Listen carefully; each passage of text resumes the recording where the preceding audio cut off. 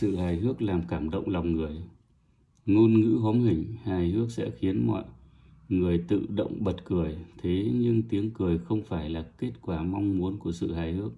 Học cách vận dụng linh hoạt sự hài hước có thể khiến lời nói của bạn chạm đến trái tim người khác. Nói chuyện cười để đạt mục đích khiến mọi người cảm động. Có một người công nhân trong căn phòng do đơn vị bố trí Do căn phòng đã lâu không được tu sửa nên mỗi lần trời mưa đều bị rột. Mặc dù người công nhân đã nhiều lần phản ánh thực trạng này lên lãnh đạo nhưng vẫn chưa được giải quyết. Một lần vào dịp Tết, lãnh đạo đơn vị đến thăm hỏi các công nhân và hỏi người công nhân đó nhà anh có bị rột không? Người công nhân cười và đáp, vẫn ổn, không phải ngày nào cũng rột. Chỉ khi nào trời mưa thì mới rột thôi. Một tháng sau, căn phòng của người công nhân đã được sửa lại.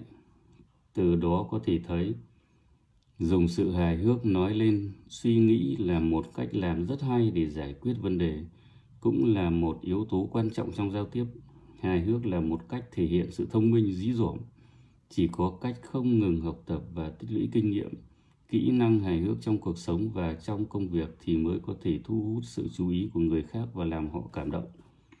Hài hước là một cách giao tiếp tình cảm khác với việc khen ngợi. Nó có thể giúp tăng sức hút của bản thân, thu hút và khiến người khác cảm động trong bầu không khí vui vẻ.